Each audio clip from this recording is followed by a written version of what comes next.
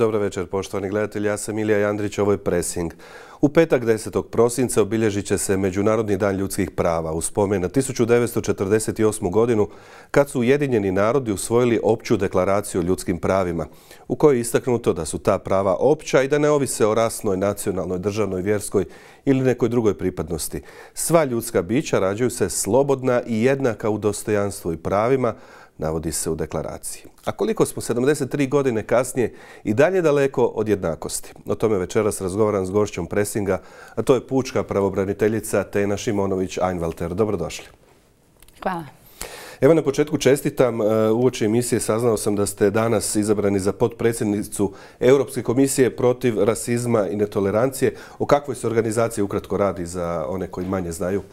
U okviru Vijeća Europe, dakle međunarodne organizacije koja je upravo osnovana nakon drugog svjetskog rata između ostaloga sa ciljem zaštite ljudskih prava i demokracije. To je jedan odbor neovisnih stručnjaka, svaka država članica Vijeća Europe, dakle i države članice Europske unije ili ova naša šira Europa, Vijeća Europe, svaka država jednog stručnjaka, odnosno stručnjakinju imenuje u taj odbor. To trebaju biti ljudi koji su neovisni i koji su stručnjaci za teme rasizma, netolerancije, a inače EKRI obuhvaća i teme rasne jednakosti, vjerske jednakosti, prava LGBT osoba. I eto, sad sam već u drugom mandatu ispred Republike Hrvatske i drugi kolege su me na izborima izabrali danas eto za podpredsjednicu odbora. Zapravo pitanje diskriminacije e, jeste vaše neko uže područje prije nego što ste došli u ured pučkog pravobranitelja, ili tako? Pa da, ja sam zapravo prošla taj jedan, ma rekla bi čak idealni put. Jer sam prvo radila na zakonu o suzbijanju diskriminacije i onda kada je tadašnjem pučkom pravobranitelju, gospodinu Jurici Malčiću, postalo jasno da će institucija pučkog pravobranitelja dobiti novi mandat, pitao me da li bih došla raditi u instituciju, uspostaviti e, mandat institucije kao središnjeg tijela nadležnog za suzbijanje diskriminacije u Republici Hrvatskoj. Ja sam prihvatila, došla i postala njegova savjetnica, s vremenom koordinatorica za suzbijanje diskriminacije, onda je izabrana nova pučka pravobraniteljica, gospođa Lora Vidović, njoj sam postala zamjenica i radila sam i suzbijanje diskriminacije, ali i područja zaštite ljudskih prava kao zamjenica i slobodu izražavanja, obnovu, stambeno zbrinjavanje, slobodu govora, javnog okupljanja, cijeli niz tema prava nacionalnih manjina, a onda sam eto i sama izabrana za pučku pravobraniteljicu i zapravo ono što je zanimljivo je da sam imala prilike sudjelovati u radu na zakonu, a onda i na primjeni tog zakona i to vam uvijek pruža mogućnost to da vidite i koliko je teško zapravo donositi dobre propise, ali koliko ih je i teško dobro provoditi. I što sad mislite, evo da vas pitam aktualno kao stručnjakinju za diskriminaciju, je li diskriminiranje e, građana uvođenje COVID potvrda obaveznih da ne mogu u poštu ili u policiju bez COVID potvrde ili bez negativnog testa? E, sasvim sigurno je riječ o jednoj mjeri koja ima kao cilj zaštitu života i zdravlja građana, a ono što mi uvijek propitujemo kada zapravo razmatramo pojam diskriminacije je šta je diskriminacija u pravnom smislu. E, puno ljudi će diskriminacijom nazvati nešto što osjećaju kao nepravdu, ali taj kolokvijalni pojam diskriminacije nije baš potpuno jednak onom što je diskriminacija u pravnom smislu. Bilo da gledamo Ustav Republike Hrvatske, njegov e, članak 14 ili recimo Evropsku konvenciju o ljudskim pravima i članak 14 ili protokol 12 ili da gledamo zakon zakon o suzbijanju diskriminacije. Uvijek moramo imati diskriminatorno postupanje temeljeno na nekoj diskriminacijskoj osnovi a da ujedno nije riječ o nekoj iznimci, odnosno da ne postoji opravdanje. Dakle, ono što smo mi u nedavnoj analizi upravo o COVID potvrdama radili je točno to. Analizirali smo kroz različite diskriminacijske osnove. Šta su diskriminacijske osnove? To su pojedine skupine ljudi definirane po nekoj karakteristici, ali također moram reći opet da postoji to opravdanje. Na primjer, u zakonu o suzbijanju diskriminacije jedno opravdanje iz članka 9 je i zaštita sigurnosti, zaštita zdravlja i tako dalje. Pa onda cijela ta analiza zapravo koja uključuje analizu proporcionalnosti nije sasvim jednostavna. Ono što smo kod COVID potvrda recimo ukazali je jedna skupina, to su ljudi koji temeljem svojeg zdravstvenog stanja nemaju mogućnost izbora. Dakle, oni nemaju mogućnost birati hoće li se cijepiti ili se neće cijepiti, a znamo da kod COVID potvrda zapravo imamo tri temelja za dobiti COVID potvrdu. Jedno je cijepljenje, jedno je testiranje i jedno je činjenica da ste prebolili COVID. Uh, dakle, ove su osobe drugačije situacije od drugih i tu nam je bilo jako bitno ukazati unaprijed da je potrebno predvidjeti uh, određenu iznimku. I drago mi je da je u uh, odluci stožera, dakle četiri odluke donio stožer koje se tiču COVID potvrda, dvije se odnose na zdravstvo, jedna na socijalnu skrb i jedna je ova zadnja od 12. studenog koja se odnosi na širi krug zapravo državnih i javnopravnih tijela. E sad, to je bila jedna skupina i oni su prepoznati bili u ovoj zadnjoj odluci. Međutim, ima jedna skupina koja nije prepoznata, a to, odnosno učinci u odnosu na tu skupinu su nas osobito brinuli.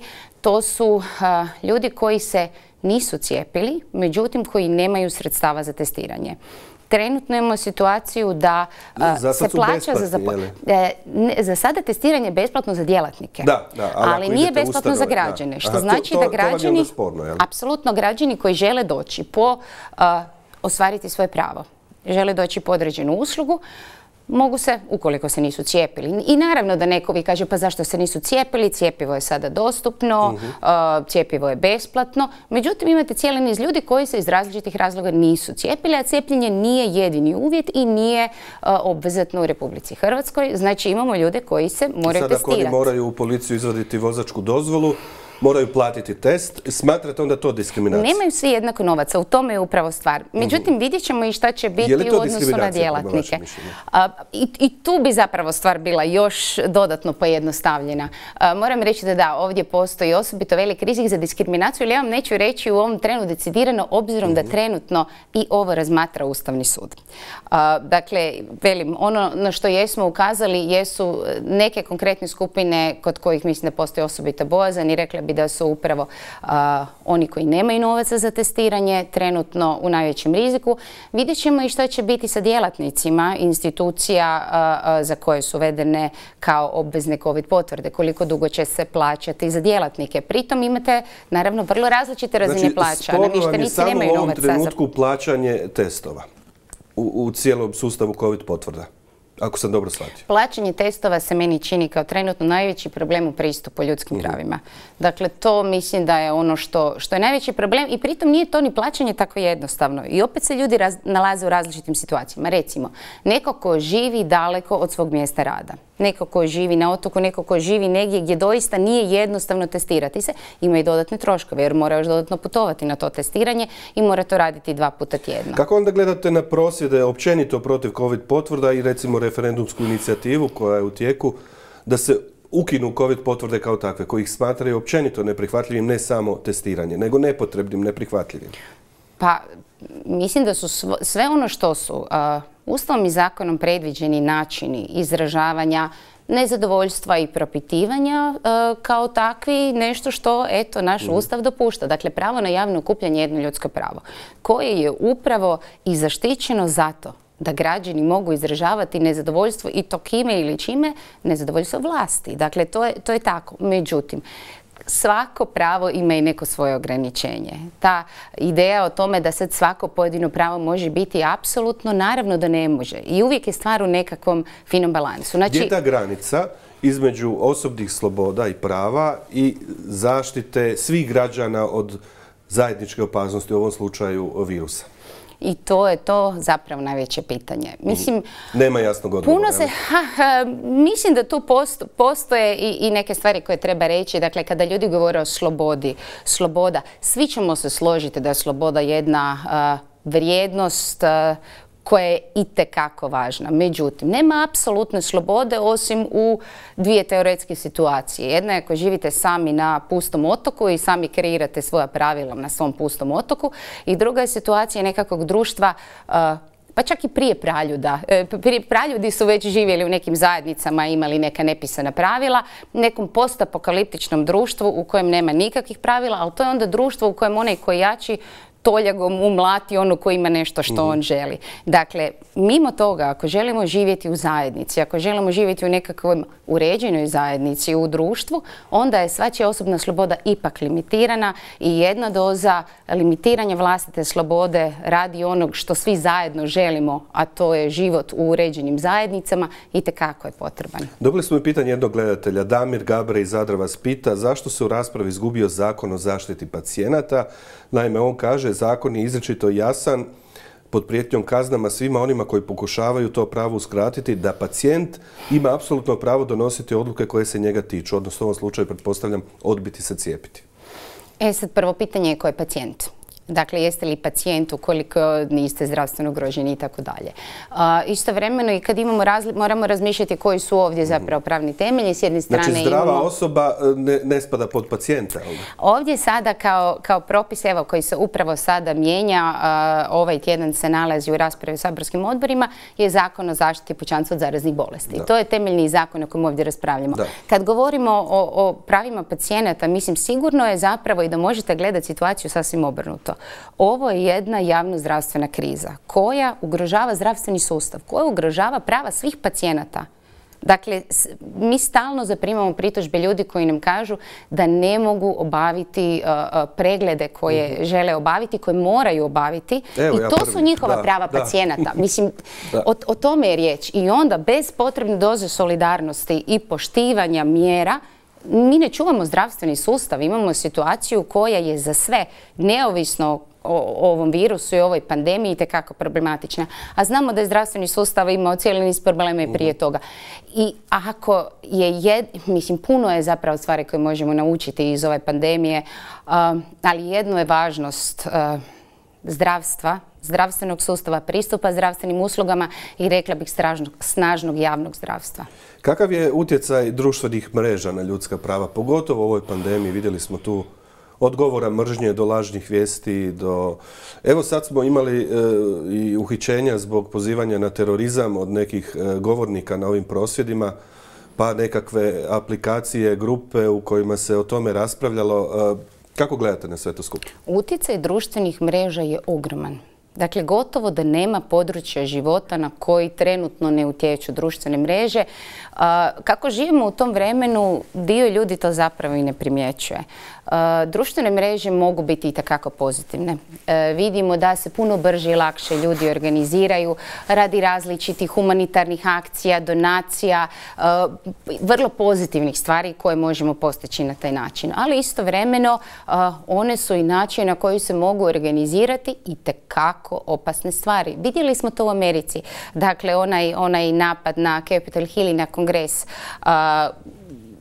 to su ozbiljne zabrinjavajuće stvari. Vidimo da, da zapravo ono što trenutno imamo je pitanje koliko postojeće zakonodavstvo može odgovoriti na nove izazove koji e, nastaju između ostaloga e, pod djelovanjem društvenih mreža. Vidimo da se recimo nedavno u Hrvatskoj mijenjao kazneni zakon e, zbog osvetničke pornografije koja je prije bila nešto što nije postojalo, a sad postoji jer ljudi se slikaju i šalju slike. Isto tako, uh, pitanje i organizacije pozitivnih i negativnih stvari. Govor mržnje. Dakle, priča se potpuno promijenila. Nekada nije bilo baš tako jednostavno da bilo ko nešto objavi što može doći do širokog broja ljudi. Morali ste imati uh, izdavačku kuću, uh, urednike i to je moralo proći cijeli niz filtera. Sada, zapravo, kogod hoće, misli da može objaviti što god hoće, međutim ne može. I to je ono pitanje toga što se zapravo ne smije ili može objaviti, ali onda odgovarate za posljedice. I to je pitanje govora mržnje i tu opet vidimo da je između ostaloga kod regulacije društvenih mreža nešto postalo prilično jasno, a to je da ne mogu samo nacionalne države uređivati neka pitanja. Društvene mreže su jedno globalno pitanje. Europska unija pokušava i vrlo teško može s obzirom da su uh, upravo ti, te kompanije, dakle sjedišta platformi koja se nalaze u Sjedinjenim američkim državama, gdje postoji jedna malo drugačija koncepcija i sloboda izražavanja i granica sloboda izražavanja i toga šta je govor mržnje, vrlo teško bez jednog globalnog odgovora možemo imati odgovor na pitanje recimo govora mržnje, uh, odnosno poticanja na nasilje mržnju kao kazneno najavila neki zajednički pristup, ali vidimo teško to u praksi e, provesti? Europska komisija je napravila jednu dobru stvar, a to je e, jedan e, kodeks, zapravo code of conduct koji su sklopili sa tim najvećim kompanijama, gdje se kroz vrijeme se mhm. više i više kompanija priključuje i o čem se tu radi zapravo imati s jedne strane one periodičke cikluse u kojima se gleda koliko su same mreže dobre u skidanju govora mržnje. I činjenica je da se popravljaju. I to je dobro. S druge strane, toliko je to govora da ga je gotovo nemoguće skinuti, a naravno da onda uvijek imamo i pitanje da li je nešto cenzura ili je ipak pitanje slobode izražavanja. A dodatni problem je zapravo kod malih, malih država, malih jezika, jer se sve češće recimo koriste algoritmi za prepoznavanje govora mržnje, ali govor mržnje je kontekstualan. I puno će brže biti razvijeni algoritmi koji će ga moći prepoznati u engleskom nego recimo u hrvatskom. Da, vidimo sad tu neke paradoksalne situacije da ljude blokiraju zbog, bez razloga na društvenim mrežama, očito algoritmi ne prepoznaju o čemu je riječ, no sve to skupa odražava se i na medije, e, na udaru su se našli takozvani mainstream mediji, dakle e, teško je zapravo u, u toj šumi informacija prepoznati točne izvore informacija, puno je lažnih vijesti, a onda vidjeli smo i na prosvjedima nezadovoljstvo prema standardnim, hajmo tako reći, mainstream medijima gdje su napadnuti novinari. Kako to tumačite? Pa e, to je jedno od suštinskih pitanja, jer između ostaloga baš zbog društvenih mreža i zbog interneta imamo poplavu informacija. Sve se zbiva užasno brzo, već samo po sebi. A onda još imamo i takozvane eho komore gdje istomišljenici razgovaraju samo s istomišljenicima i nisu svjesni zapravo postojanja jedne objektivne realnosti koja je drugačija. Ali e, imamo, imamo zapravo ozbiljan problem, rekla bih, i, i poplavu lažnih vijesti koje, mislim, isto kao što sloboda izražavanja ima svoje ograničenje kad govorimo o govoru mržnje, tako i sloboda izražavanja ima svoje ograničenje kad govorimo o širanju lažnih vijesti koje imaju potencijal ugroziti sigurnost života i zdravlja i tako. Pa vidjeli smo i, i koliko je bilo problema, opet e, to su bile vijesti iz Amerike s ljudima koji su pili svakakve, svakakve substance zato jer su eto pročitali da je to lijek protiv korone. mislim, prestrašne priče postoje, ali prestrašne priče možemo čuti sve više i iz Hrvatske ljudi koji su povjerovali u različite lažne vijesti. Tu je velika odgovornost onih koji provjeravaju, takozvanih fact checkera, ali isto tako i mainstream medija. Mislim da zapravo prejednostavno bi bilo reći da su mediji izgubili na svojoj ulozi zato što je svako sad novinar i svako objavljuje. Meni se čini prije da su tim više mainstream mediji važni. Jer objektivno novinarstvo i objektivno izvještavanje građana nikad nije bilo važnije nego u ovoj poplavi informacija i velikom broju netočnih informacija. Ako netko u startu ima negativan stav prema mainstream medijima, naziva ih režimskim, samo zato što vjeruje lažnim vijestima, on je tu uvjeren. Teško je takve ljude preobratiti, da tako kažem. Sasvim sigurno i iznimno je... To je već na granici fanatizma postao. Iznimno je... Mene je zabrinulo da je riječ bila o nizu napada. Znači nismo imali samo, jedna situacija, jedan novinar i jedan prosvjednik. Nego smo točno znamo da je to bio i RTL i Nova i Al Jazeera i onda prosvjed pred HRT-om koji mi se čini prema onom što smo mhm. mogli pročitati vezano za, um, započete postupke u odnosu na one optužene za terorizam. Zapravo upravo i ovo prosvjedovanje pred HRT-om je imalo važne elemente. pa to je jedan, jedan da, od krimena koji se stavlja sigurno, Sigurno da je zabrinjavajuće kada netko poziva na nasilje, dakle doista poziva na nasilje, poziva na rat, mislim obuci, obucite, obucite uniforme, uh prodajte imovinu, idemo u rat. To su poruke na koje se, uh, ja sam sigurna, velika većina hrvatskih građana zgrozi. Ili da demokraciju treba ukinuti, uvesti Božji zakon i slično. A pritom, mislim, činjenica da su novinari tamo radili svoj posao. Radili su posao od javnog interesa. I dio je i prava svih drugih građana da imaju informacije o tome što se govori na prosvjedima. Međutim, zanimljivo pitanje je još nešto u kontekstu zapravo novinarskog posla, a to je koliko se prostora u javnom prostoru daje različitim akterima. Ima i nešto u tome da ako nekome date jako puno prostora, mhm. zapravo pomažete i širiti te poruke. Da, da, to, to sad isto je pitanje možda i etičkog kodeksa. Toliko za sad o pandemiji i njezinim posljedicama. Idemo na jednu drugu temu, a to su ilegalni migranti i izbjeglice na hrvatskim granicama. Nakon presude Europskog suda za ljudska prava u slučaju Male e, Madine, dakle, gdje je Hrvatska država odgovorna za njezinu pogibiju tamo e, na, na pruzi kod Šida, kad su pokušali ona i njezine obitelji ući u Hrvatsku, e, taj, taj se proces dugo vukao, Ustavni sud Hrvatske je odbacio odgovornost, ali vidimo Europski ipak presudio u korist obitelji. Kakve će to posljedice imati prema vašem mišljenju? Ovo za sad još nije konačna odluka. Sada trenutno uh, protiče rok u kojem ćemo vidjeti da li će ovaj slučaj na kraju završiti na velikom vijeću.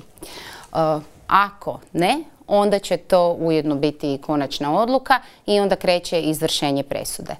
Uh, sa ljudske strane to je strašno. Mislim, to je riječ o smrti djevojčica od šest godina. Sa pravne strane odluka je vrlo detaljna, e, vrlo jasna. Odluke Europskog suda za ljudske prava nisu uvijek jasne. Ova je vrlo dugačka, vrlo precizna i detaljna i jasna i svakako se da truda pročitati tih sto stranica e, svašta će pročitati. Za što je Hrvatska konkretno tu proglašena odgovornom? E, za cijeli niz konvencijskih prava, odnosno članaka i sad to je uh, i pravo na život, i zabrana mučenja, i zabrana kolektivnog protjerivanja stranaca, i pravo na pristup sudu. Uh, ono što je između ostaloga sud posebno apostrofirao je pitanje učinkovite istrage. To je jedan pravni standard e, koji Europski sud za ljudska prava već dugo gradi. A on zapravo uključuje i to da istragu treba provoditi neko ko je u potpunosti neovisan od onih koga istražuje, ali isto tako da istragu treba provesti u potpunosti koristeći sve raspoložive dokazne materijale. I to je zapravo nešto što se ne pojavljuje prvi puta. I, mm, to je često naglašen problem u, svim ovim pritužbama na odnos Hrvatske policije prema ilegalnim migrantima. Ha, čuli smo, odnosno imali smo prilike pročitati i u ovom nedavno objavljenom izvješću CPT-a, dakle Odbora Vijeća Europe koji prati primjenu konvenciju o zabrani mučenja Evropskoj konvenciji. isto dijelove koji su se ticali učinkovite istrage. Pitanje učinkovite istrage je i nešto što je institucija koju sam na čelu godinama u izvješćima koje podnosim u Hrvatskom saboru isticala. ono što smo čuli je da je i predsjednik Ustavnog suda rekao nakon što ova odluka postane konačna da će ona biti ugrađena i da će to biti standardi. Ono što je svakako bitno je s jedne strane, naravno ne samo pitanje istrage, stvar kreće ranije, pitanje postupanja e, policije na granicama. Ali onda nakon toga, kad već imate nekakvu pritužbu, nekakav slučaj, snimku i tako dalje, pitanje je kako se istražuje i onda nakon istrage i provedenog postupka, pitanje sankcioniranja. ovaj zadnji slučaj batinjanja e, migranata iz Hrvatske policije, e, tek je priznato da se to dogodilo do sada i uvijek to bilo zanjekano.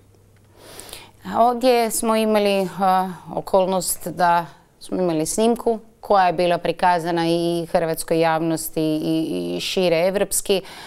ono što je bilo pozitivno je da je dosta brzo zapravo sastavljen specijalni tim i koji je dosta brzo zapravo potvrdio da je riječ o policijskim službenicima, ali cijeli postupak je još u tijeku i treba vidjeti koji će zapravo biti epilog.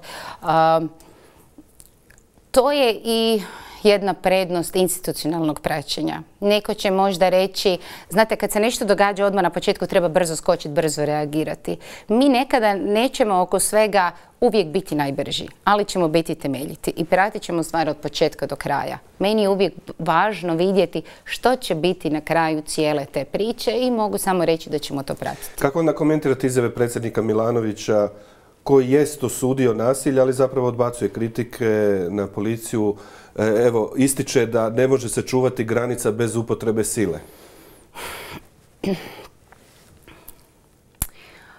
Postoje pravni standardi. I čuvanje granice jest posao policije. To uopće nije upitno. I znamo što piše i u hrvatskim zakonima, što piše u šengenskom zakoniku i tako dalje. Ali, e, hrvatska policija kad primjenjuje zakone, ne može primjenjivati samo zakone u pogledu čuvanja granice, a ne primjenjivati zakone kad govorimo o pristupu međunarodnoj zaštiti, o temeljnim ljudskim pravima. Dakle, to jedno ide uz drugo.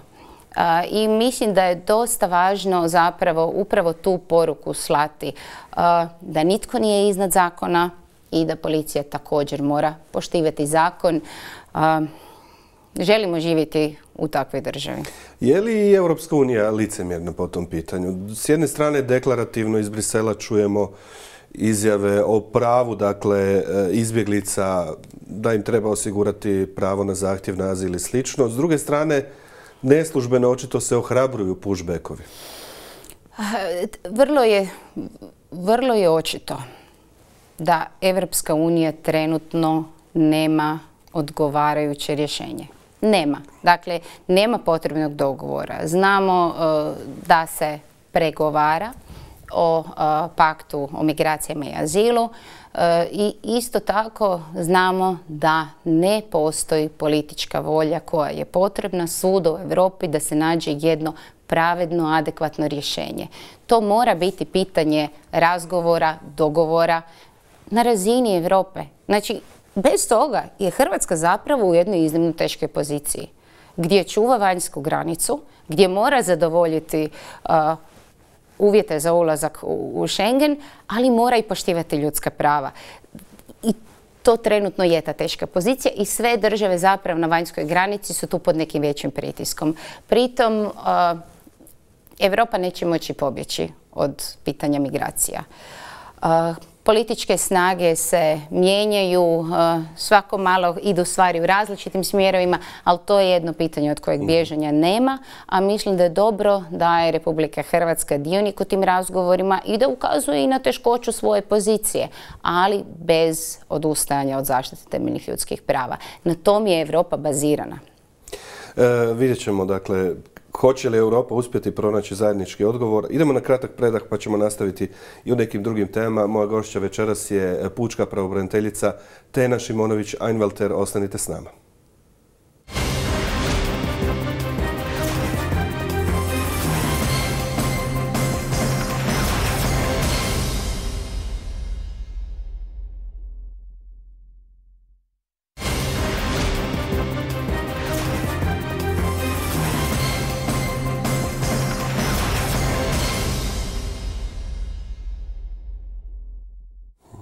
Presingu večeras pučka pravobraniteljica Tena Šimonović-Einwalter, ombudsmenica bi rekli jeli, u ovom nekom internacionalnom govoru.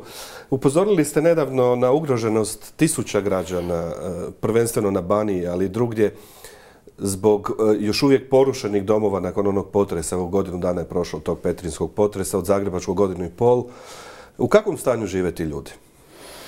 I Zagrebačke žrtve potresa i žrtve potresa u Sisačko-Moslavačkoj županiji zapravo još uvijek čekaju.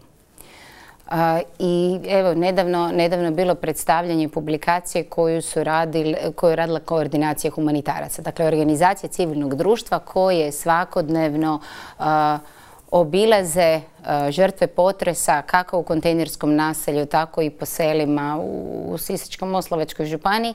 I riječ je zapravo bila o jednoj odličnoj inicijativi, a to je smisliti kako e, dobro pomoći ljudima na način da zapravo uz postojeće podatke svih institucija e, i demografske i sve druge pitate ljude da se napravi i, e, napravljena jedna anketa onih koji žive u kontejnerskom naseljima i isto tako anketa svih onih koji spadaju u ranjive skupine. Anketa e, procjena potreba. I rezultati zapravo jako puno govore o tome koliko teško ti ljudi žive. E, mi smo radili anketu koja se ticala upravo ranjivih skupina i njihovih potreba i rezultati su poražavajući. Znači, s jedne strane da, ti ljudi čekaju obnovu. Međutim, oni imaju cijeli niz drugih potreba koje treba zadovoljiti dok oni čekaju obnovu i dom. Dakle, uvjeti života su neadekvatni, je Tako je. Znači, to je pitanje pristupa zdravstvenoj zaštiti. Velik broj njih kaže da nema pristupa doktoru. S druge strane, to ne čudi jer je prosječna udaljenost preko 8 km i to su mahom ljudi koji nemaju novaca, nemaju automobil, veliki broj starijih osoba i oni jednostavno ne mogu doći do doktora, oni ne mogu doći do lijekova. E, to je pitanje obrazovanja za djecu koja nemaju adekvatne uvjete za učenje. To, to je zapravo psihološka pomoć. Recimo, jedna stvar koja mene posebno brine s obzirom na posao koji se bavim je pristup pravnoj pomoći. 60% ih kaže da nema pristup pravnoj pomoći. A pravna pomoć im je potrebna pa počevši već od obnove i sveg onog što trebaju zapravo ispuniti i, zadovoljiti, ali i za ostvarivanje cijelog niza drugih prava. 60% je jako puno. I tu recimo odmah vidim priliku da se pomogne kroz bolje osiguravanje besplatne pravne pomoći. To je recimo nešto što je mhm. put ka svim drugim pravima. Na toj konferenciji s vama je bio i potpredsjednik vlade Boris Milošević, pa čini li vlada nešto da se olakša tim ljudima? Evo upravo ovi problemi na koje ste sad upozorili, od zdravstvene e, zaštite do obrazovanja. Da. E, dakle, pustimo sada zakon o obnovi po strani. Recimo, nedavno je donesen i plan revitalizacije Sisačko-Moslovačke županije. I to je zapravo jedna pozitivna ideja kako dugoročno osigurati da ljudi ostanu živjeti tamo. Međutim, ono što je sada u ovom trenutku također potrebno je odgovoriti na ove svakodnevne potrebe. I za besplatnom pravnom pomoći, psihosocijalnom pomoći ljudima koji, koji žive u konstantnom stresu i strahu u krajnjoj liniji od novih podrhtavanja. To je pitanje recimo pojašnjavanja toga na što imaju pravo ili ne, slanje jasnih poruka. Dakle, od, otpisa, kad govorimo recimo o, električnoj energiji, cijeli je niz tu uh, pitanja koje ljudi imaju, ali i potreba koje imaju i vidimo recimo da tu udruge trenutno zapravo na dobar način, rekla bi, popunjavaju te neke praznine jer mogu brzo i fleksibilno e, zapravo odgovarati na neke potrebe. Bilo da govorimo o dostavljanju hrane ili vode i tako dalje. Ali naravno da zapravo primarnu ulogu ima država. Znači, kada govorimo recimo o pomoći u kući, ako imate iznimno e, e, starije stanovništvo, mhm i to su vrlo često samci koji žive sami u kućama.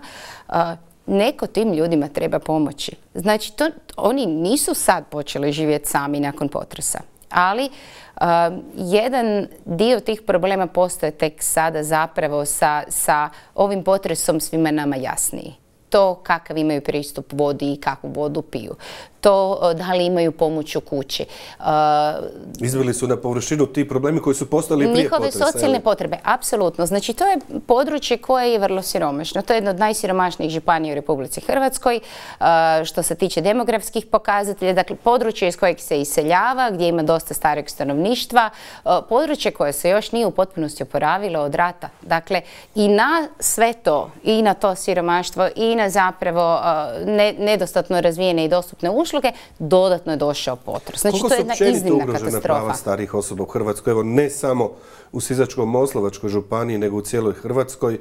Pogotovo sad i u pandemiji, dakle imali smo potres, imali smo pandemiju, ali sami kažete, problemi su kod većine njih postojali prije, jer e, pogotovo ako žive sami. I tekako. Znači, e, starije osobe s jedne strane e, vrlo često nemaju jednako koliko imaju mlađi zaposleni i tako dalje. Iz cijelog niza razloga. Tu, su i problemi vezani opet uz zdravstveno stanje pa onda i pristup zdravstvenoj zaštiti.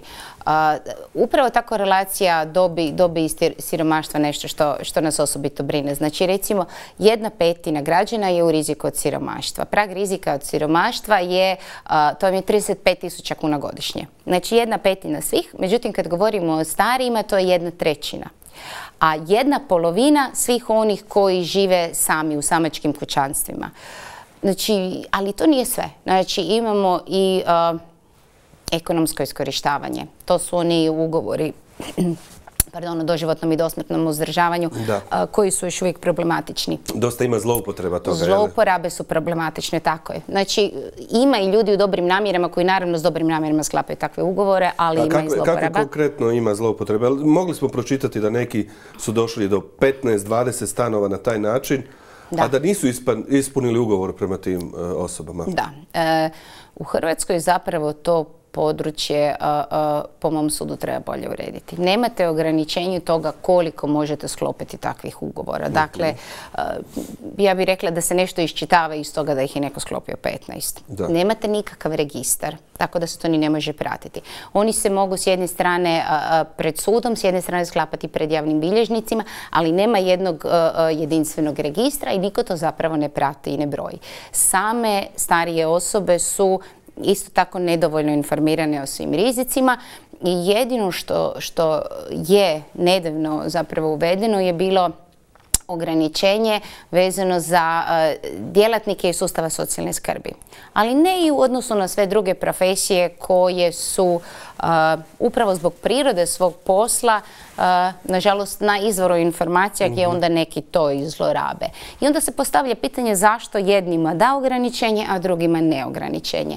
E, mislim da se ovo može, može bolje regulirati.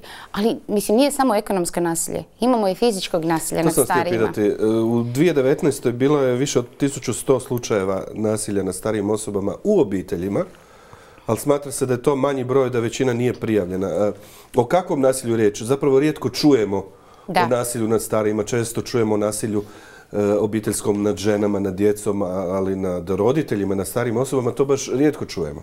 I moramo naravno pričati o nasilju nad ženama i moramo pričati o mhm. nasilju nad djecom, ali nasilje nad starijima da, još kao jedna tema koja još uvijek jako tabuizirana, stigmatizirana, o njoj se nedovoljno priča. I svi bi voljeli misliti da se ne događa iza zatvorenih vrata. A riječ je o žrtvama koje su ekstra ranjive, e, koje vrlo često ne mogu pozvati pomoć. E, dakle, kad govorimo o osobama koje ne mogu obratiti se nikome, čisto fizički ne mogu, ali i onima koji mogu, a koji ne žele. Zašto? Zato što su njihovi zlostavljači, najčešće njihovi članovi obitelji, sinovi, kćeri, unuci i tako dalje. Ono što mi recimo vidimo u pritužbama je čak i kada susjedi prijave, i onda policija izađe na mjesto događaja, kad i policija i centri za socijalnu skrb se temeljem dojave susjeda angažiraju, onda imamo negiranje, ne, ne, nije, je li to sram ili želja da se zaštiti obitelj? Teško je reći, je li? Da, sasvim sigurno je jedno i drugo. I to su ti Kako pomoći takvim osobama? To su krugovi nasilja.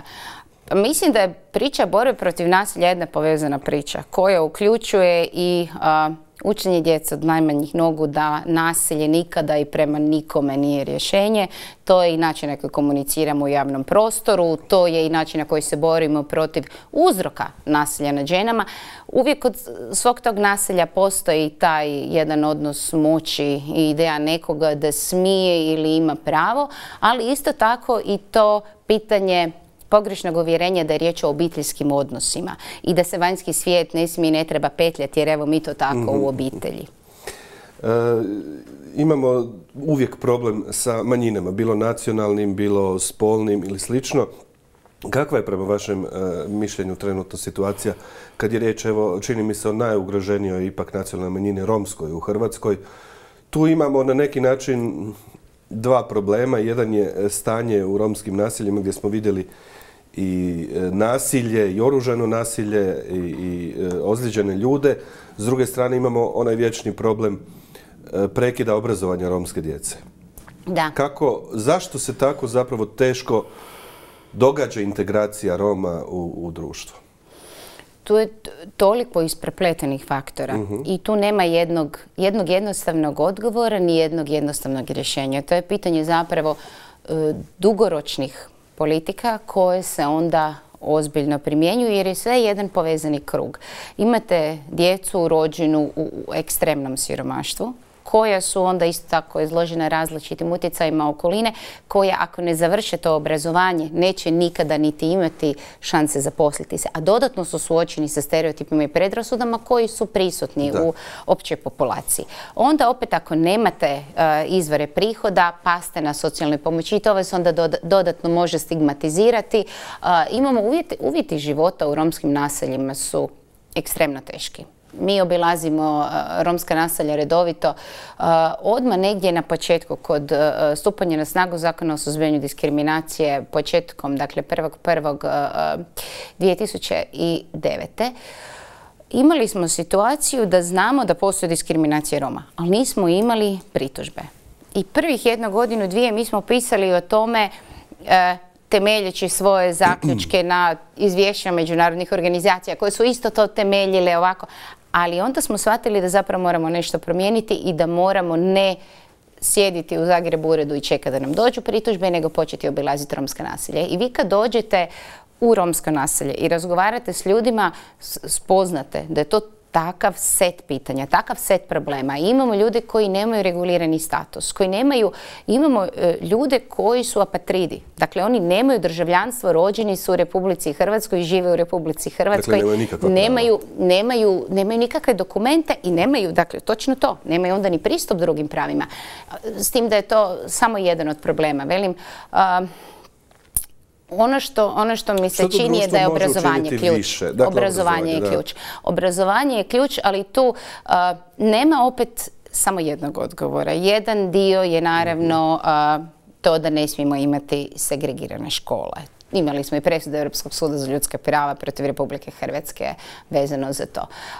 ali opet tu vam je to da imamo romska naselja koja su segregirana. Iz segregiranog stanovanja u određenoj mjeri proizlazi i jedan dio obrazovne segregacije jer gdje će ići ta djeca u školu, idu u najbližu školu, onda dodatno imate roditelje, djece većinske populacije koji vode djecu drugog. jezika isto tu prisutan. Da.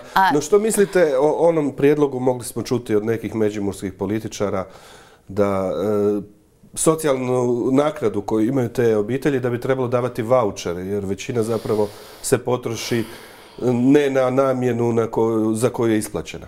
Više je problema s voucherima. ono što je recimo jedan od problema naravno je ko, kada, kako, temeljem čega procjenjuje e, koja obitelj će dobivati vouchera, ko će dobiti zajamčenu minimalnu naknadu u novcima. I tu, treba tu bi trebalo onda imati vrlo jasne kriterije. Dakle, ne smije biti bazirano na predrasudama svi Romi ovako, svi mhm, Romi onako, mhm. jer doista nije istina. E, koja god tvrdnja je svi nešto, nije istina. je sad ono što je recimo dodatni problem s voucherima. A to je problem. Ako onda imate e, dućane u kojima se može kupovati s voucherima, a recimo u tim dućanima stvari koštaju više nego u drugim dućanima, imate samo neke stvari, a ne sve stvari koje čovjek zapravo treba i, može poželjeti kupiti. Puno je tu problema i mislim da, da sa voucherima možemo proizvesti kontraefekt. E, nije Hrvatska jedina i to su recimo evo, iskustva koja nosim upravo iz Ekrija i Vijeće Europe, jedina u kojoj su pripadnici romske manjine diskriminirani. Da, to je europski problem opći. Dakle, postoje i neka rješenja, kroz godine su se mhm. pokazala dobrima koja treba usvojiti. ima i nekih stvari koje Hrvatska radi dobro i tu isto treba reći, evo ovo je primjer dobre prakse, ja često koristim priliku za ono što jesu primjeri dobre prakse, međunarodno tako isticati. Recimo, ono što je dobro je prikupljanje baznih podataka koje je napravljeno bilo gdje smo doista dobili dobru sliku u to što su problemi Roma u Hrvatskoj. I pristup zdravstvenoj zaštiti i obrazovanju i tako dalje. Mhm. Međutim, ono što je korak dalje je onda temeljem tih podataka mijenjati stvari. Tu uh, ima još posla. Kad kažete postoje stvari koje Hrvatska radi dobro, uh, često smo mogli čuti pohvale pa od islamske zajednice o položaju muslimana i načinu na koji je uređena uh, prava vjerska muslimana. S obzirom da ste predsjedali Europskom mrežom za jednakost, Ekvinetom, možemo li tu usporediti Hrvatsku u odnosu na druge zemlje u Europi gdje možda E, problem islamofobije ipak izraženiji zbog e, doseljenika, migranata muslimana, ovi naši su ipak mogli bismo reći domaći uglavnom. E, mi u Hrvatskoj zapravo, to vam mogu reći iz, iz iskustva ove naše institucije, svake godine kada pripremamo izvješće, nekada je to bilo izvješće pojma diskriminacije, sad izvješće o stanju ljudskih prava, pitamo sve vjerske zajednice. Dakle, crkve i vjerske zajednice registrirane u Republici Hrvatskoj. Pitamo da li su vam se obraćali uh, pripadnici vaše crkve ili vjerske zajednice sa problemima, da li se osjećaju diskriminirani, da li imaju povredu svog prava na vjeru i tako dalje. I redovito od Mešihata dobivamo odgovor o tome kako je muslimanska zajednica u Hrvatskoj dobro integrirana.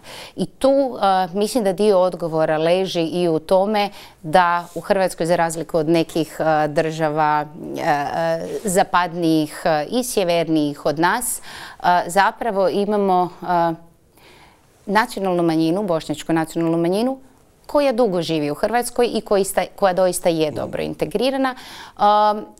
Ima tu i Albanaca, da, e, ima i Hrvata i srpske vjere. Da. Tako je, imate potpuno pravo. međutim, gotovo, gotovo, vrlo rijetko zapravo dobivamo pritužbe e, koje, koje, bi upućivale na islamofobiju, odnosno čak se sad više na evropskoj razini ne govori o islamofobiji, nego o e, anti kaže se anti-muslim hatred, znači mm mržnji prema muslimanima, islamofobija kao termin, više, ne kotira dobro. sigurno da se uh, neka pitanja i neke rasprave drugačije vode u pojedinim evropskim regijama. I to je sasvim u redu. Ne treba niti glumiti da je cijela Evropska unija apsolutno ista po svim pitanjima. Jer i znači, nije. U ovom barem kad je riječ o odnosu prema muslimanima smo negdje u boljem dijelu Europske unije, je li? Pa, znate šta bi ja rekla? E, sigurno je da ima i ljudi koji ne izlaze van sa svojim problemima i sa svojim pritužbama iz različitih razloga. Ne usude se, misle da se ništa neće promijeniti, ne žele stvarati probleme ili tako to vide. Dakle, prema svemu što vidimo i u mhm. govoru u javnom prostoru i, kada gledamo recimo primjerice upravo te društvene mreže, ne bi ja rekla da u Hrvatskoj nema određene, idemo reći, islamofobije. Ima ali ona nije možda toliko izražena i toliko prisutna kao što ćemo to vidjeti u odnosu na neke druge manjine. Ja bih rekao ima mržnje prema svima. to, da, da, ne idealiziramo, naravno puno negativnosti, puno negativnosti, nažalost i puno mržnje. Da. čini li vam se da se e, popravio položaj srpske nacionalne manjine od kako ovih pet godina njihova stranka partner u vlasti ili je ostalo to sve nepromijenjeno? E, to nije jednostavno pitanje. Meni se neka čini da bude korak u pozitivnom smjeru, pa onda opet u negativnom i tako dalje. Moram reći da vidim recimo neke dobre pomake. Na primjer, one e, zajedničke komemoracije su bile važna politička poruka i moram reći tu da doista e, potpredsjednik vlade koji je ujedno i zadužen za ljudska prava šalje vrlo, vrlo dobre poruke. Međutim, puno je, puno je još potrebno da srpska manjina u Hrvatskoj u potpunosti ima zadovoljena sva prava prema Ustavnom zakonu prema nacionalnih manjina. Velika, velika je stigmatizacija još uvijek prisutna. E, stigmatizacija se ta ogleda gdje najčešće, kakve pritužbe dobivate? Je li to pristup e, poslu, zapošljavanju ili obrazovanju? O čemu je riječ? Jedan dio je govor mržnje i govor u javnosti, mhm. jedan je pitanje brojanja i kvalifikacije zločina iz mržnje, jedno je pitanje, naravno, pojedinačni slučajevi zapošljavanja, mhm. ali i ne samo to. Znači institucije e, zakazuju kad kažete brojanje zločina iz mržnje, kako će kvalificirati nešto? To je uvijek, to je uvijek neko pitanje toga da li je nešto što netko smatra da je motivirano mržnjom prema, prema mhm. nekome, je li, je li to zločin iz mržnje ili nije, ali to su recimo i pritužbe koje dobivamo i to je nešto čemu posvećujemo pažnju u izvješćima, ali e, to je i pitanje recimo jezika, dakle dvojezičnosti i prava na uporabu jezika, jezika i pisma. Tu i dalje, znači, imamo velika pitanja, posebice recimo u Vukovaru. Imali smo i odluku Ustavnog suda i pitanje da, jel da se njeno već poznato. Evo vidjet ćemo što će biti nakon ovog popisa stanovništva. E, u posljednjem smo dijelu emisije, htio bih još malo zapravo o ljudskim pravima u budućnosti. Koliko će klimatske promjene ugroziti e, ljudska prava? Što tu možemo očekivati? Sasvim sigurno e, još veće migracije prema Europi, recimo, ali između ostalog, e, što nas osobno može ugroziti? Ja mislim da su, da, su sada već prilično jasne četiri velike ugroze, rekla bih. I nisu to nove stvari, one su već tu ali imaju potencijala rasta. I to ste odlično istaknuli, to su sasvim sigurno klimatske promjene. To je i, i ova pandemija i eventualne buduće pandemije koje će možda biti još i gore od ove.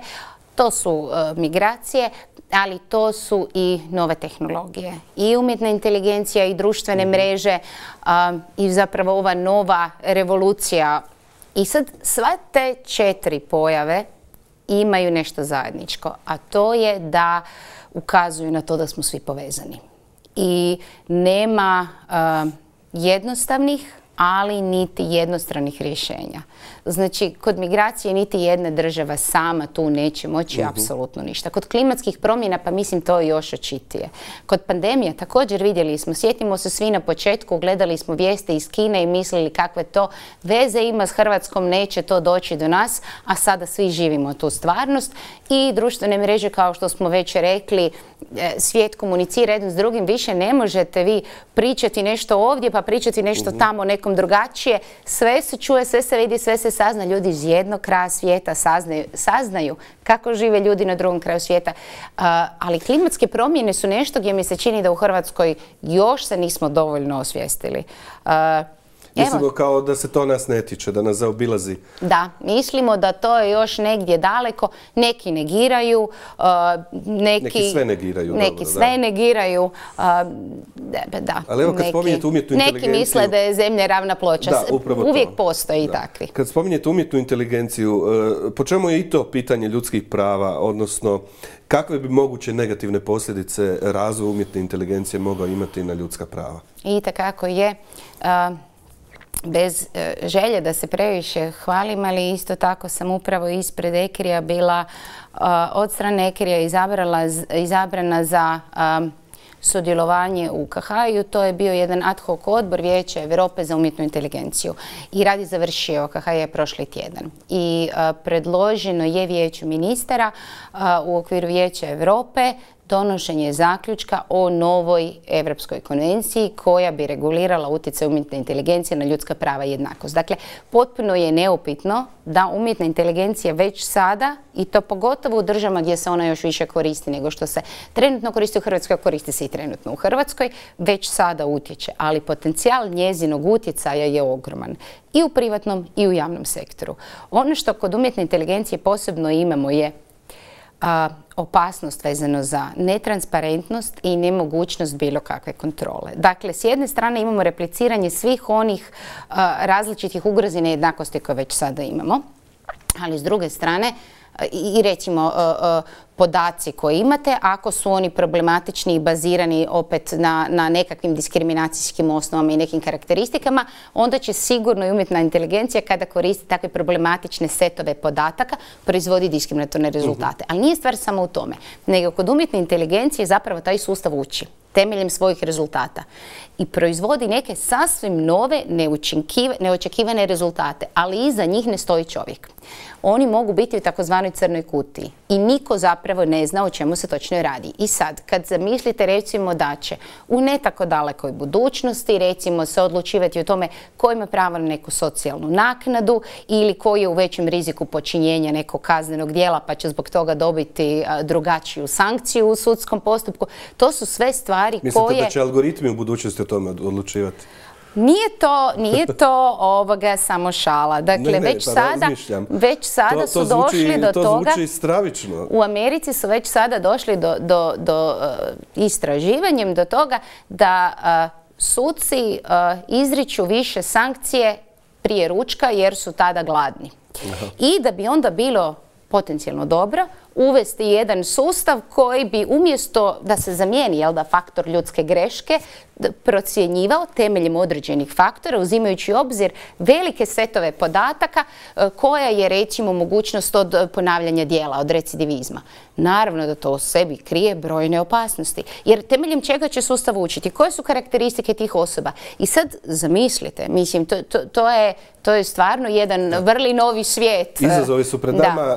Isteklo nam je vrijeme samo kratko. E, izabrani ste u Saboru uz veliku podršku, dakle i vlasti i oporbe više nego dvotrećinskom većinom. Koliko ste uistinu neovisni u svom radu i djelovanju? Pa ja se trudim biti maksimalno neovisna. U trenu kada ne budem neovisna, onda ću to vrlo jasno reći. Mislim da se ovaj posao ne može raditi osim, ne može raditi dobro, osim ako ste neovisni. E, hvala vam e, najljepša na gostovanju u presingu, gospođo Šimonović-Einwalter. Hvala vam. Hvala vama poštovani gledatelji. Vidimo se ponovno sutra u 20 sati. Novi presing gost će biti saborski zastupnik i politički tajnik Mosta Ante Kujundžić. Doviđenja.